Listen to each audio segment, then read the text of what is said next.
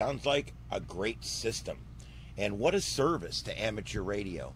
And what a service to emergency services and to keeping communication between the two. Well, at least that's what I thought.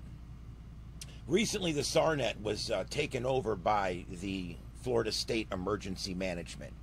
And like with most things that get taken over by a larger uh, entity, uh, and it's kind of a secondary thing, uh, things get pushed to the side. For instance, our repeater was down here for eight months uh, in Fort Myers.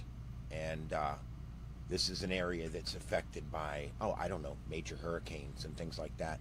And our repeater was down for eight months, and we never really got an explanation as to why or when it was coming back up. It just suddenly came back online one day. So we've got this beautiful system. It's 40 plus repeaters, they're all on UHF. And you would think this is an amazing thing. You would think, here we go. Finally, a, a, a, major system that puts people in contact all across the state of Florida, the state with the largest hurricane threat.